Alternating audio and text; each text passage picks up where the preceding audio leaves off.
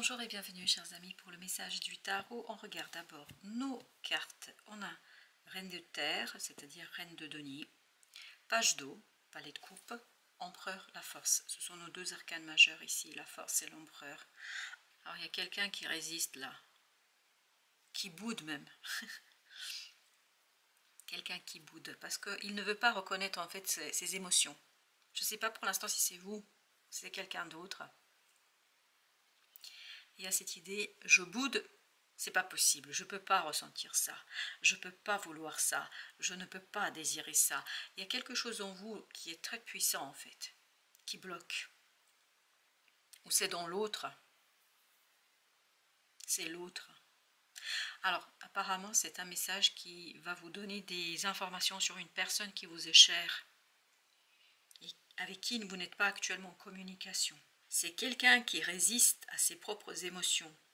C'est quelqu'un qui résiste au sens en fait d'amour. Parce qu'il y a quelque chose qui est en train de, s'éveiller. Il y a vraiment cette irruption d'émotions chez quelqu'un que cette personne ne veut pas reconnaître. Elle est carrément en train de résister, mais de toutes ses forces. Il y a ici cette idée de résistance intérieure face à, à cet élan du cœur qui est en train de se préparer. Par contre, ici, cette reine de terre, c'est assez surprenant. Elle a l'air complètement décalée par rapport à ça. Ces trois cartes, elles vont ensemble. Celle-ci, elle va toute seule. C'est-à-dire qu'il euh, y a ici quelqu'un qui est très sensible, très chaleureux, très ouvert en fait à ses propres émotions, à ses propres ressentis. Puis surtout, ce que je sens, c'est la créativité. En fait, cette personne-là, est en train de transformer quelque chose, de faire grandir quelque chose, de faire produire quelque chose. Et et de l'autre côté, là, il y a quelqu'un qui vraiment est dans, la résistance. Ça fait vraiment comme un enfant qui boude, qui dit ben non, je veux pas, j'ai pas envie. Vous voyez, qui croise ses bras et qui dit non, j'ai pas envie. Ça fait un peu ça. Désolée, je me moque un peu, mais parce que c'est stupide là. Complètement stupide. Parce que entre nous, je vais vous dire pourquoi c'est stupide. Parce qu'il ne peut pas résister. Il y a quelque chose qui est en train de vraiment lui demander de passer à une nouvelle phase dans la relation à passer à une nouvelle étape dans la relation, à aller chercher euh, ce, quelque chose qui est profondément ancré en soi. Et j'ai l'impression qu'il n'arrivera pas à dominer cet élan. Non, cette personne n'arrivera pas à dominer cet élan du cœur parce que l'élan du cœur est trop important. Et ce côté je boude, ça va très vite être dépassé. Roi de coupe. Par contre, la reine de denier ici, est vraiment en clair avec ses propres émotions, à tel point qu'elle est en train de matérialiser de manifester quelque chose qui est très puissant, très très fort. Et ben voilà, voyez les amoureux, je pense qu'elle est en train de manifester euh, quelque chose qui est lié à ses propres émotions, mais qui est très fort, très puissant. Est-ce que sans cet empereur-là, et qui s'entête à, ne pas voir, qui ne veut pas voir, parce que, vous voyez, euh, la reine de Denis ici est là, et ce roi de coupe, et ce, cet empereur, et pourtant c'est un empereur, c'est bien plus puissant qu'une reine, et surtout une reine de Denier, ah, en fait, il est dans cet émotionnel de page de coupe, c'est-à-dire quelqu'un qui ne veut pas reconnaître ses propres émotions. Et il y a un lien ici qui est très fort, très puissant, un lien qui est, je pense, pour ce personnage-là, très compliqué à intégrer, notamment mentalement. C'est le mental là qui résiste. Vous avez le pape, il a peur, en fait cet autre a peur de l'engagement. Il a peur et oui, vous voyez, 3 d'épée. On sent cette peur, on sent cette souffrance, on sent, on, a l'impression comme ça de l'extérieur que c'est un enfant gâté, euh, pourri gâté, je dirais même, un enfant qui, c'est pour ça que je me suis moquée un peu, parce qu'il y a ce côté, vraiment, euh, un enfant pourri gâté qui résiste et qui fait son caprice. Mais ce caprice, en fait, cache une souffrance et une douleur. C'est pour ça, allez, je vais moins me moquer, et je vais moins être dans cette énergie de d'incompréhension, de, mais vraiment parce que cette personne résiste à une souffrance là. Cas de Denis, cette personne a du mal à lâcher prise quelque chose. Elle a du mal en fait à intégrer des synchronicités et pourtant tout est en train de la pousser dans ce sens-là. On sent que tout la pousse vers euh, ce roi de coupe, vers quelque chose de, de profondément émotionnel et elle a du mal à l'accepter de bâton. Je pense qu'elle a du mal à laisser quelque chose derrière elle. Elle a du mal, il y a beaucoup d'instabilité ici. émotionnelle. Elle a du mal avec ses propres émotions, cette personne. Euh, parfois c'est chaud, parfois c'est froid, euh, parfois elle a envie d'y aller, puis d'autres moments, enfin, elle se, elle se force. J'ai l'impression qu'elle retient de toutes ses forces cet élan d'amour, mais je crois que ce ne sera pas possible. Exactement, ce ne sera pas possible. Vous voyez, il y a la mort ici qui nous dit qu'il y a quelque chose qui est en train de se transformer. Ce qui est en train de mourir, c'est cette souffrance dans cette personne. Cette personne va retrouver un peu plus de pureté, un peu plus de simplicité dans sa propre relation à son cœur. Parce que c'est ici, c'est pas la reine de, de Denis, c'est pas cette personne qui, elle, par contre, je peux vous dire qu'elle a là, cette énergie-là, de ce côté-là, cette énergie, elle est pleine d'amour, euh, d'acceptation, de désir profond, euh, de, bienveillance, de transformation. Euh, vraiment, elle fait grandir quelque chose avec beaucoup de passion, mais surtout avec beaucoup de, douceur. Alors que de ce côté-là, il y a une profonde souffrance et en fait, cette personne a du mal à, à faire avec ça, mais la mort nous dit que cette résistance va mourir, cette personne va se libérer. Vous voyez, vous avez ici le 9 de denier, cette personne va se libérer c'est assez positif. Vous voyez, elle va se libérer de cet ego, de cette force. La force, c'est exactement la même énergie que celle-ci. Donc, il y a cette idée qu'elle euh, elle essaie de retenir cet élan du cœur, mais elle n'arrivera pas, cette personne, à retenir cet élan du cœur. Elle sera bien obligée, en fait, d'aller avec l'énergie, parce que l'énergie semble trop forte et trop puissante dans cette affaire, et en fait, elle n'a pas le choix roi euh, le roi, pardon, chevalier de denier. Mais à tel point cette reine de denier est calme et apaisée que ça m'a donné l'impression que c'était le roi. Non, c'est le chevalier de denier. Donc cette personne est ancrée, elle est posée et presque elle est, elle est dans l'attente de la réponse de cet empereur qui euh, est en train de s'entêter parce que j'ai encore le sourire vraiment parce que ça me fait sourire dans le sens on, sent que la personne résiste, euh, qu'elle fait son petit caprice, mais en fait c'est elle ne peut pas tenir le choc parce que la puissance du lien est trop importante. La force du lien est trop importante. Et elle le sait, la reine de denier. Elle le sait ça. La roue de la fortune. Je pense qu'il y a le destin qui va s'emmêler ici. Exactement, qui va encore plus pousser. En fait, on a ces synchronicités qui vont pousser cet empereur, cette personne qui a cette énergie d'empereur de résistance, ça va la pousser dans euh, ses derniers retranchements. Elle n'aura pas le choix parce qu'il y a quelque chose qui est en train de s'éveiller en elle, qui est en train de se, se, réveiller en elle, qui va déborder cette résistance et qui va déborder ce côté « je ne veux pas y aller » pardon, 4 de bâton. Vous voyez ici, il y a 3 de bâton. Tout à l'heure, on avait l'as de bâton, on a le 4 de bâton ici. Il y a bien cette idée, il y a quelque chose qui vient vers cette personne et qui l'oblige à ancrer en fait ce qu'elle ressent réellement. Alors, je suis désolée, je souris parce que ça me fait un peu, euh, euh, comment vous dire, je ne sais pas, j'ai cette énergie un peu moqueuse vis-à-vis de cette personne. C'est-à-dire, je sens tout son cœur qui résiste de toutes ses forces, mais vraiment tout son ego. Euh, elle fait tout ce qu'elle peut, mais en fait, elle ne peut pas elle ne peut pas parce que, et, ce, ce cadre de bâton, c'est-à-dire l'ancrage de ce quelque chose qu'elle ressent profondément, en fait, ça la fait énormément souffrir. Et, je sens vraiment sa force de désespoir là-dedans, mais en fait, ça ne marche pas, ça ne passe pas, cette d'épée. Je pense que il y a des choses qu'elle va devoir se reconnaître. C'est presque l'univers l'oblige ici à dévoiler une situation, à dévoiler quelque chose, à aller vers cette légèreté du cœur, à aller vers l'élan du cœur, à aller vers ce quelque chose qui vraiment est profondément, profondément euh, en fait ancré en elle. Elle ne peut pas faire autrement. Et là, deux, deux bâtons. En fait, l'univers, c'est vraiment l'univers qui s'entremêle. Ici, c'est pour ça que cette personne-là, c'est juste cette carte-là, en fait, juste cette partie-là, c'est une personne qui est sûre de ses sentiments, qui est sûre de ses émotions, qui est ancrée et qui est en train de créer quelque chose de grand. Et de l'autre côté, bah, là, les, trois là, eh ben, je peux vous dire que c'est waouh, waouh, waouh, c'est très compliqué. C'est très difficile. Et en fait, cette personne n'aura pas le choix parce que l'univers va s'en mêler pour l'obliger à ancrer quelque chose qui lui tient à cœur. Vraiment, c'est l'univers qui la pousse à rentrer dans cette énergie de magicien, c'est-à-dire dans une nouvelle étape. Dans cette nouvelle étape où elle va devoir vraiment se mettre à nu, et ça, c'est difficile. Elle essaye de se cacher derrière ce côté capricieux d'un enfant pour, y gâter, mais en fait, elle va devoir aller chercher quelque chose qui est au fond d'elle. Cette on sent qu'il y a une lumière, il y a une belle lumière dans cette personne-là, elle a du mal elle n'ose pas. Il y a quelque chose de déséquilibré en elle qui a beaucoup de mal en fait à lui, euh, à, lui laisser cette liberté dont elle aurait besoin pour lâcher prise sur une situation. Elle a la clé devant ses yeux. Vraiment, elle a la solution devant ses yeux, mais elle la refuse pour l'instant, cette solution. Et en fait, vous avez ce page d'épée parce que elle ne veut pas regarder la vérité en face. Elle ne veut pas se connecter. elle ne veut pas, elle ne peut pas. C'est pas elle ne veut pas, c'est elle ne peut pas. Et donc, elle, fait je ne veux pas, je ne veux pas, parce que c'est pour ça que j'ai utilisé le mot vouloir, mais elle n'est pas dans une volonté réelle. En fait, il y a quelque chose qui l'a fait souffrir, qui lui fait du mal, quelque chose qui lui a fait du mal antérieurement, je pense, à travers ses expériences, qui fait qu'elle ne peut pas là. Elle ne peut pas aller et elle croit maîtriser. C'est pour ça que j'avais cette idée un peu, ce côté moqueur, que j'en ai plus maintenant, en fait, parce que cette personne croit et pense que c'est sa propre volonté. Mais en fait, c'est pas sa propre volonté, c'est une souffrance.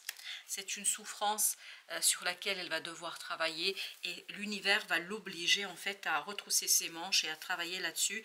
Par contre, là, c'est l'apaisement, enfin c'est incroyable comme vivre ce roi de couple, la sérénité, la tranquillité, parce qu'il y a une connexion ici qui est très profonde entre cette énergie de reine de denier et l'univers.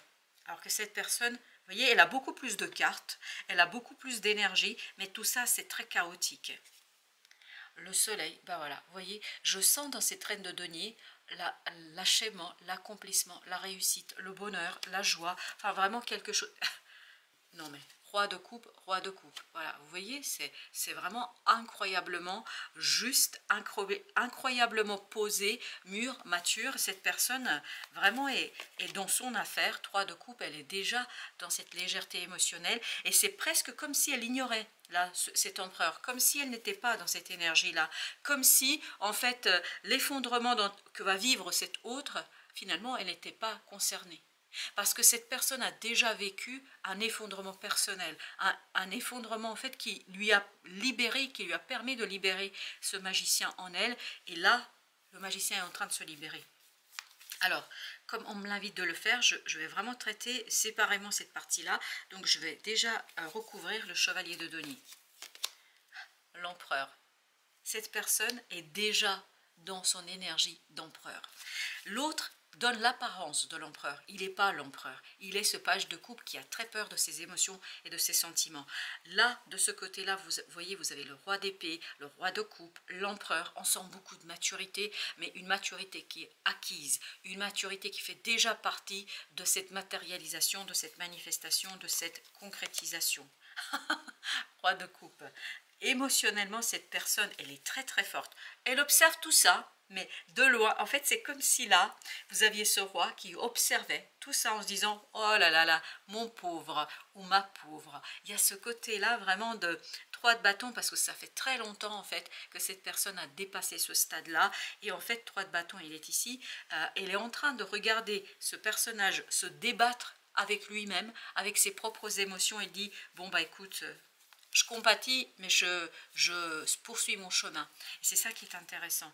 Cette d'épée, en fait, elle attend ce dévoilement et je pense que l'autre, de toute façon, n'aura pas le choix. Parce que ici, cette énergie-là, elle sait parfaitement que l'autre n'aura pas le choix. Et on sent dans le 2 de bâton, on sent dans ce, cette roue de la fortune que l'autre n'aura pas le choix, qu'il y aura la transformation. Elle le sait, elle est convaincue et elle est ancrée, cette personne-là. Donc voilà pourquoi, en fait, elle n'a pas de doute, elle n'a pas de, de, de d'émotions chaotiques, comme ici ce personnage, vraiment, il a des émotions très très chaotiques. As de Denis, parce que de toute façon l'autre n'aura pas le choix, l'univers va l'obliger, va le forcer, mais il y a vraiment l'univers qui le force, cet autre, à regarder vraiment son intuition, à regarder quelque chose à l'intérieur, à regarder ses peurs, à dévoiler ce page de coupe et à lui laisser un peu plus de liberté. 4 de coupe, je pense, vous voyez 4 de coupe, 4 de coupe, cet autre n'aura pas le choix va devoir se confronter à ce conflit intérieur, 5 de bâton. En fait, va devoir se confronter à quelque chose qui lui fait peur, quelque chose qui l'angoisse, et le voilà, cette angoisse neuf d'épée, on sent qu'il y a quelque chose qui l'angoisse profondément, quelque chose qui l'effraie, où il se sent pas à la hauteur, il fait semblant de, faire euh, oui je suis l'empereur, je suis celui qui maîtrise, mais en fait cette personne ne maîtrise rien du tout. Elle ne maîtrise pas ses, émotions, elle ne maîtrise pas les événements autour d'elle, c'est vraiment le chaos. La tour tout à l'heure, elle était ici, mais en fait cette tour, cette tour l'autre, c'est-à-dire cette énergie de la reine de Denis, va l'observer chez l'autre, parce que chez l'autre, il y a quelque chose qui va s'effondrer, mais radicalement. Reine de denier. reine de denier ici avec la tour, avec pardon, la roue de la fortune. Ok, chevalier de denier. Vous voyez, ça s'est dévoilé avec le chevalier de bâton. je pense que cette reine de denier peut être dans cette énergie de d'accélération, parce que je pense que le fait de rester calme, tranquille, posé, parce que vous voyez, en fait, euh, les cartes se sont dévoilées d'elles-mêmes, parce que celle-ci, elle a volé pour nous dévoiler le chevalier de Denis. Chevalier de Denis, il était là, vous vous souvenez, hein, il n'y a pas de hasard. C'est pour ça que je prends le temps de... Parce que ce chevalier de Denis, en fait, cette reine de Denis, elle est tellement posée, elle est tellement calme. Par son calme, en fait, elle va obliger l'autre à agir. Elle va obliger l'autre à faire le pas, à faire ce pas dont il a tellement peur, parce que cette personne a tellement peur. Je vais relier les deux là, et vous voyez, c'est l'univers en fait qui l'oblige, l'autre, à se positionner. 8 de Denis. Je pense que l'autre n'aura vraiment pas le choix. 5 de bâton.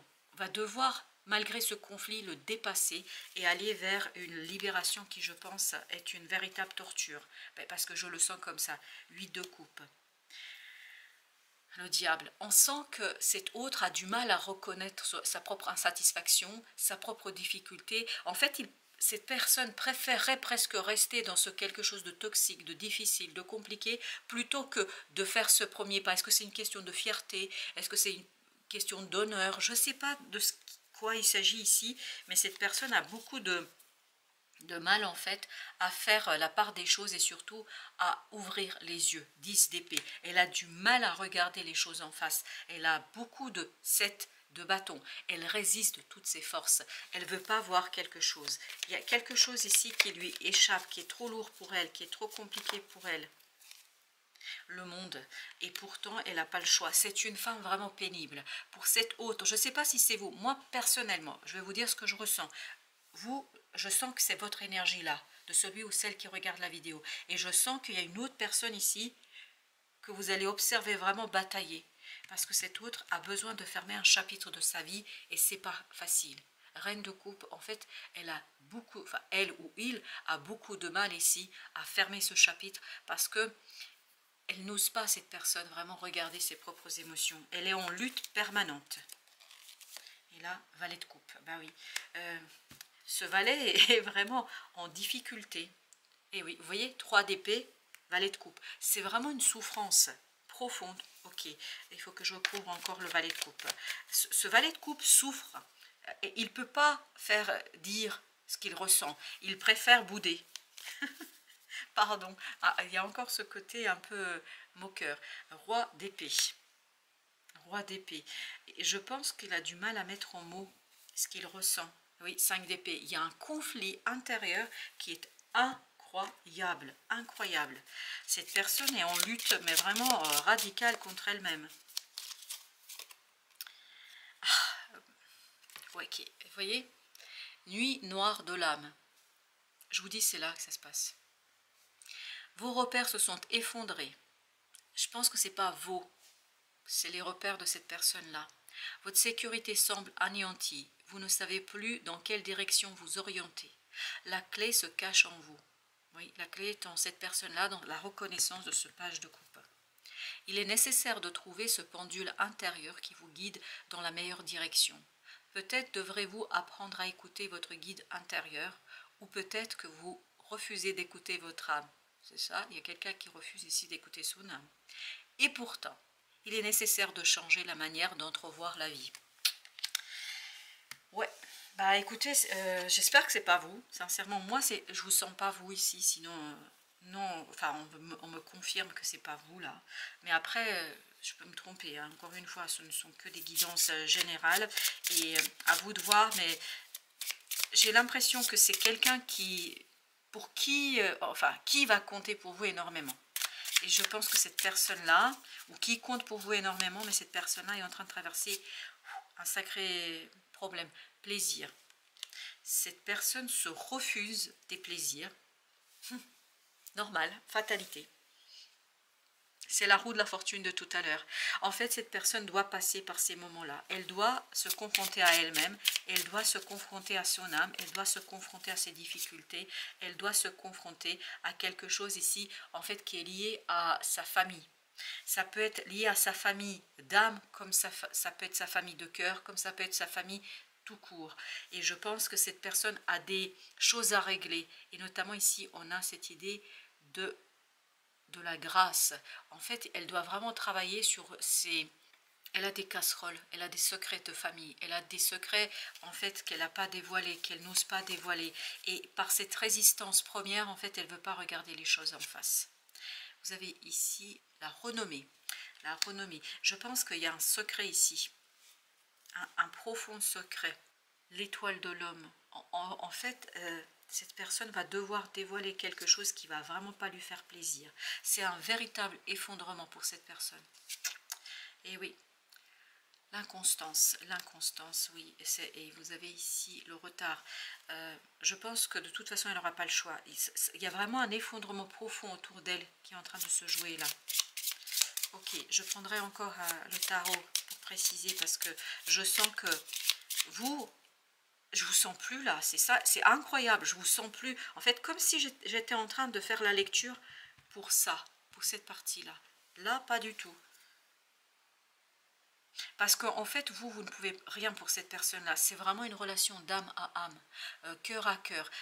Et elle a des choses à régler avec sa famille, avec euh, son monde intérieur, avec... Euh, vous, vous ne pouvez qu'observer et continuez votre chemin parce que je pense que vous allez l'inspirer cette personne-là. Ah, encore l'étoile de, de, la à l'étoile de la femme là cette fois-ci, l'étoile de la femme. Oui, tout à l'heure c'était l'étoile de l'homme, maintenant c'est l'étoile de la femme. Euh, vraiment, il y, a un problème là à régler avec le côté féminin. Vous avez la nouvelle. Je pense que cette personne devra...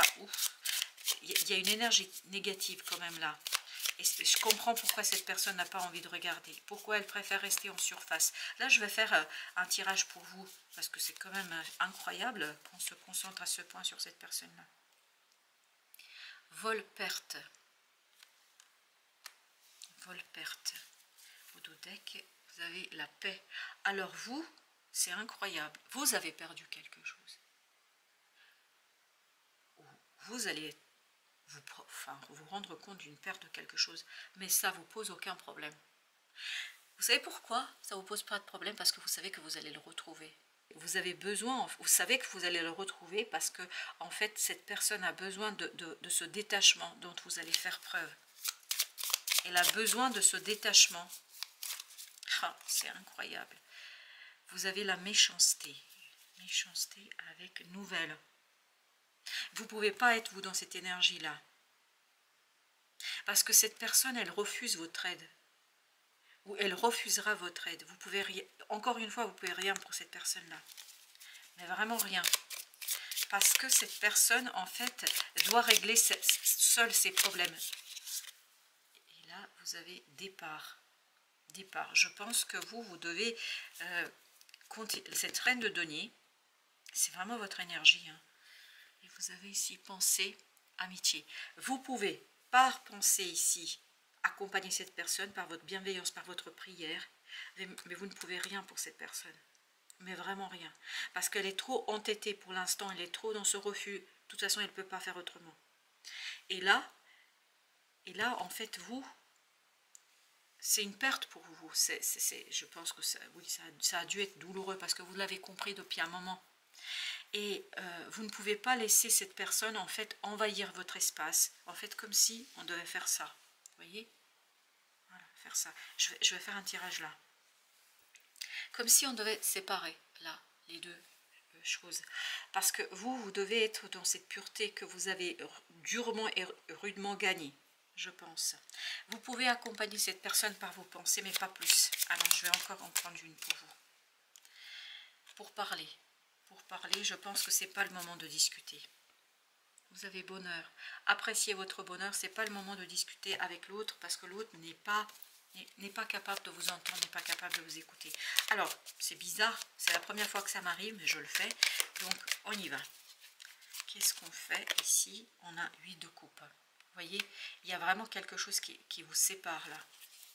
Là, euh, oui, il y a quelque chose qui vous sépare. 10 d'épée. Tant que l'autre, en fait, vous n'avez pas les mots, ni l'un ni l'autre. Vous n'avez la communication n'est pas au beau fixe. L'autre est en souffrance, l'autre est en difficulté, donc ne peut pas discuter, ne peut pas vous dire ce qui se passe, ne peut pas vous raconter ce qui se passe. C'est quelqu'un qui doit vraiment mener son bout de chemin par soi. Mais par contre, énergétiquement, vous, vous pouvez influencer un peu son, son travail, c'est-à-dire en lui laissant un peu d'espace. Vous avez vu comme j'ai séparé les deux là? C'est-à-dire lui laisser un peu d'espace. Ça ne veut pas dire l'abandonner. Concentrez-vous sur ce que vous avez à créer là. Concentrez-vous sur votre propre créativité. Vous voyez, et pourtant j'ai mélangé, je vous assure, hein, 10 d'épée. L'autre est en, une souffrance, mais incroyable. Et là, vous avez les amoureux, le 6. Laissez-lui de l'espace. Plus vous allez lui laisser de l'espace, plus l'autre, en fait, va revenir vers vous. Oui, revenir vers vous. Là, on a le 7 de bâton, 10 de bâton. Parce que l'autre a besoin seul de se défaire de son fardeau. Vous, vous pouvez rien pour lui. Vous avez le chevalier de coupe. Et plus vous allez être dans cette pureté énergétique, émotionnellement parlant, ne pas avoir euh, de jugement. Parce que vous voyez, au départ, vraiment, j'avais vraiment cette... Euh, on dirait un enfant capricieux, mais en fait derrière se cache une profonde souffrance et un secret de famille que l'autre doit résoudre et qui n'est pas facile. Je vais mettre, cette fois-ci, je vais mettre juste une ici.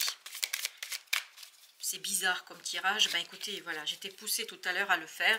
Et ben je le fais. Et vous avez ici la lune. C'est très profond chez cette personne-là. Et en fait, elle reste en surface parce que c'est dur pour elle d'aller chercher ce quelque chose. Et vous avez ici le soleil. Il faut vraiment qu'elle se reconnecte à cette univers et notamment qu'elle se reconnecte à, son enfant intérieur, à son, énergie positive, à la positivité. Mais c'est trop lourd. En fait, elle, porte quelque chose qui n'est pas à elle. C'est transgénérationnel, c'est générationnel, c'est vraiment... Elle a un secret de famille, cette autre personne à libérer. Neuf de denier. Oui, à libérer et, et à se libérer de ce secret de famille. C'est de denier. Et pour ça, elle a besoin vraiment de prendre de la distance, d'analyser, de réfléchir, de regarder. Mais tant que euh, vous êtes en train de lui forcer un peu la main, elle, elle, a, le temps, elle peut en fait euh, comment, se rédire, ne pas le faire. Mais si vous lui laissez un peu d'espace, je pense qu'elle n'aura pas le choix. En fait, et en plus, le destin, avec des synchronicités, va l'obliger à. Donc, parce que tant que vous, vous, dites des choses et tant que vous le poussez, cet autre, cet autre, en fait, résiste contre vous en disant que c'est vous la méchante, c'est vous le mauvais, vous voyez, avec la méchanceté, c'est vous le méchant, c'est vous qui l'obligez à... Et si vous vous retirez un peu, en fait, bah, votre énergie ne sera plus là contre laquelle cette personne, elle, elle, pourra lutter. Donc, elle va se retrouver seule face à elle-même. Et là, elle n'aura plus le choix. Elle va devoir regarder les choses en face. 21. Eh bien oui, on a cette idée de, du monde. Cette personne vraiment a besoin de clôturer un cycle dans sa vie. Et ça, ça va se faire dans la douleur, dans la souffrance. Et comme elle aura plus, vous serez plus là en fait. Quand je dis plus là, ça ne veut pas dire que vous l'abandonnez cette personne. Mais vous allez plus être dans, dans vous allez, comment dire, vous allez plus être son prétexte euh, pour résister elle va devoir en fait faire la paix avec elle-même et après elle pourra revenir vers vous. C'est pour ça, et vous voyez, je, l'autre, je vois comme si c'était quelqu'un qui était vraiment mais achevé et vous, vous avez cette énergie protectrice vis-à-vis de cette personne-là. Alors attendez, vol-perte. Cette personne, vous ne l'avez pas perdue, elle va revenir. Mais il faut qu'elle règle ses problèmes. 6 de coupe, vous voyez, elle va revenir elle va revenir vers vous. Je vous le dis, c'est vraiment 8 euh, de denier. Et 8 de denier, c'était notre carte de départ à la fin du deck. Elle va revenir, mais il faut, vous voyez, il faut qu'elle passe par ça. 10 d'épée, il faut qu'elle enlève toutes ses épées, et ces épées, pour elle, c'est lié à sa famille, au secret de famille. Et 9 de coupe, vous voyez, elle va revenir. Mais il faut d'abord qu'elle ouvre les yeux, et regardez, non mais incroyable, qu'elle ouvre les yeux sur ce page de coupe c'est vraiment ce page de coupe qu'elle doit libérer. Et ce page de coupe est enfermé par un secret de famille. Voilà, chers amis. Merci. Merci de votre visite. Merci de votre fidélité. C'est incroyablement surprenant comme message. C'est incroyablement surprenant comme tirage, comme énergie. Mais voilà, j'ai fait ce que la vie m'a demandé de faire. Je vous dis merci de votre visite. À très très bientôt pour d'autres messages de la vie et du tarot.